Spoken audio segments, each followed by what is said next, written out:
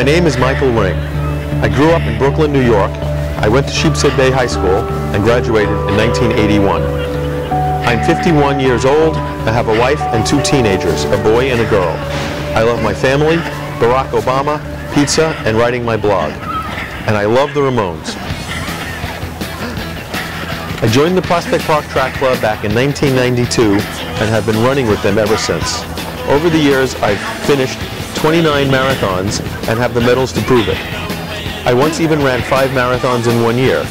I've been a volunteer for many races throughout the city. In 2013, I was a pace team leader for the New York City Marathon. They treated me like a rock star. I have a lot of friends in both low and high places. Friends seem to like my honesty and my dry sense of humor. At least most do. You see the guy sitting over there in the wheelchair? Well, that's me. Last year, I was diagnosed with a rare disease called CIDP. Professionals call it chronic inflammatory demyelinating polyneuropathy. I call it hell.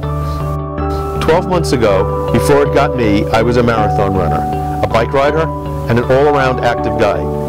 Now I can't even use a mouse anymore because I don't have control over most of my body.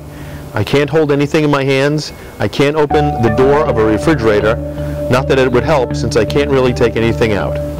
I need to walk with a walker. That's what CIDP does to you. However, things could be worse. Others with this condition don't even survive. I try to be as positive as I can.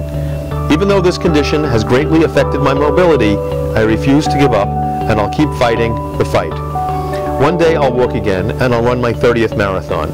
Given my situation, I still try to enjoy my life as much as humanly possible. I still eat pizza, Obama is still my main man, and now I use my blog to show others who are suffering from CIDP that they are not alone. And I still love the Ramones.